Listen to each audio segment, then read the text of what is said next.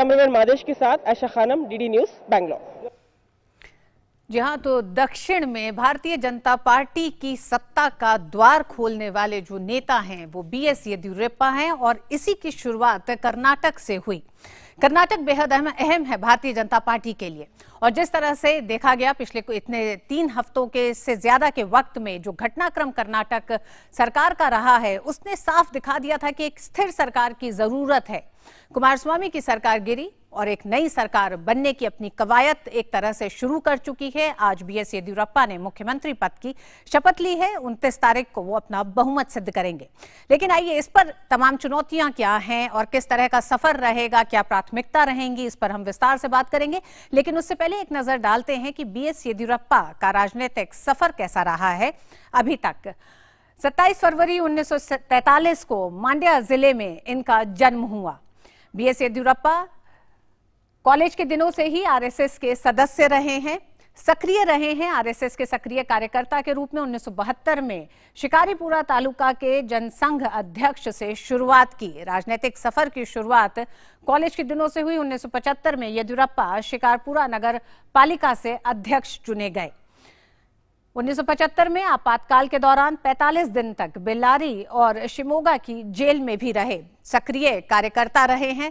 तमाम मसलों पर आवाज़ बुलंद करते रहे हैं। उसी का असर दिखाई दिया। जिस तरह से आपातकाल के समय वो जेल में रहे 1977 में जनता पार्टी के सचिव पद पर काबिज होने के साथ ही राजनीतिक कद बढ़ा और यहाँ से सक्रियता बढ़ी।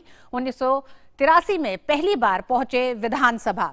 विधानसभा पहुँचने के साथ ही कई ऐसे आ, कई ऐसे एक तरह से कह सकते हैं कि मसले थे जिन पर पुरजोर तरीके से काम करना था येदियुरप्पा को और उन्नीस सौ तिरासी से उन्नीस सौ चौरानबे तक चार बार चुनकर विधानसभा पहुँचे जिसमें एक बड़ा बहुमत रहा है।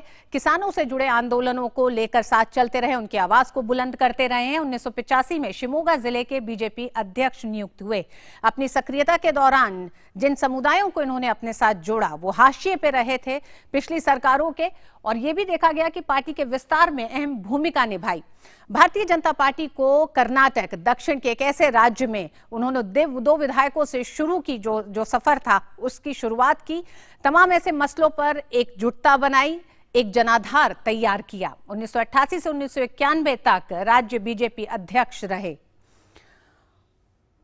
भूमिहीन किसानों और बंधुआ मजदूरों की समस्याओं से जुड़े बड़े आंदोलन किए। कई ऐसे आंदोलन रहे जिन्हें इन्होंने निष्कर्ष तक पहुँचाया और यही एक कारण रहा जिसमें आज भी हमने देखा कि अपने शपथ ग्रहण के समय जब गले में हरा पटका जो उन्होंने पहना था, वो किसानों का रंग है, उनके संघर्ष का रंग है, उसके साथ वो गए थे शपथ लेने के लिए। उन्नीस सौ चौरानवे में येदियुरप्पा कर्नाटक विधानसभा में नेता विपक्ष बने। नेता विपक्ष की भूमिका में भी तमाम उन सरकार के कदमों पर सवाल उठाए उन तमाम अत्याचारों पर सवाल उठाए जो वहाँ की हाशिए पे सर, जो जनता थी उसको लेकर लगातार सरकार उन पर दमन कर रही थी। 12 नवंबर 2007 को पहली बार राज्य के मुख्यमंत्री बने। मुख्यमंत्री बनने का सफ़र ज़रूर येदियुरप्पा के जीवन में काफ़ी एक तरह से कह सकते हैं दिलचस्प रहा है। 30 मई 2008 को दूसरी बार येदियुरप्पा राज्य के मुख्यमंत्री बने। चुनौतियाँ हमेशा उनको घेरे रही हैं, जो दिखाई भी देता है, जिस तरह का उनका कार्यकाल रहा। अपने मुख्यमंत्री बनने के दौरान 2011 में भ्रष्टाचार के आरोपों के चलते कुर्सी गंवानी पड़ी थी। ये एक बड़ा मोड़ था भारतीय जनता पार्टी के लिए भी। कर्नाटक में जो जनाधार था, जो पकड़ थी, उसे लेकर बीजेपी से अलग होकर कर्नाटक जनता पक्ष पार्टी बनाई उन्होंने। इसका भी एक सदमा था, लेकिन विचारधारा से भारतीय जनता पार्टी के इतने नज़दीक थे कि इसके बावजूद 2014 में फिर बीजेपी में लौटे। और उस लौटने के बाद से कर्नाटक में भारतीय जनता पार्टी को जो मजबूती दी, मई 2018 के विधानसभा चुनाव के बाद तीसरी बार मुख्यमंत्री बने, जो बताता है कि जो पकड़ जमीनी मुद्दों पर, जमीनी लोगों के साथ जो उनके आंदोलन रहे हैं, जो उनका संघर्ष रहा है, उसमें जो जनाधार उनके साथ हुआ है, उसकी पकड़ बताता है, ये लगातार उनकी जीत और बहुमत न हो पाने के चलते उन्होंने दिया था इस्तीफा। लेकिन जब दो 26 जुलाई 2019 यानी कि आज चौथी बार राज्य की कमान संभाली है। हमने देखा जिस समय वो शपथ ले रहे थे, उस समय भी जिस तरह का लोगों में उत्साह दिखाई दे रहा था, उनकी शपथ ग्रहण समारोह में भी, और साथ ही साथ जो तमाम वो मुद्दे रहे हैं, जो चुनाव के दौरान उन्होंने कहा कि किसानों के कर्ज से जुड़े मसले हैं, किसानों की और समस्याएँ हैं, उनको लेकर जो पिछली सरकारों ने काम नहीं करा, और साथ ही साथ कांग्रेस और जेडीएस का जो गठबंधन था, उस गठबंधन पर लगातार सवाल उठ रहे थे, गठबंधन के भीतर से भी और बाहर जनता में भी। और यही एक तरह से नतीजा रहा कर्नाटक की सरकार का कि जनता के बहुमत के इतर जाके ये गठबंधन हुआ था, जिसका नतीजा रहा कि कुमार स्वामी की सरकार गिरी और आज येदुरप्पा ने एक तरह से मुख्यमंत्री पद की शपथ ली है और आगे सरकार का सफ़र शुरू होगा। वक्त एक छोटे से ब्रेक का, ब्रेक के बाद उन चुनौतियों और आने वाली प्राथमिकताओं पर करेंगे चर्चा।